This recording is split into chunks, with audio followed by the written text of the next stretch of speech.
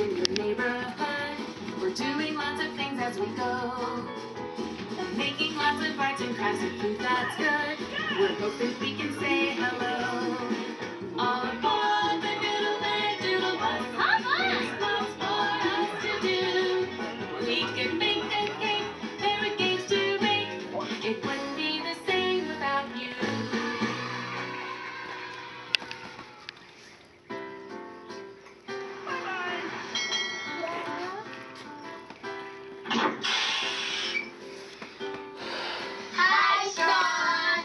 Hi, hi, everyone. Hi. Cynthia. Thanks for coming. Oh, it's my pleasure.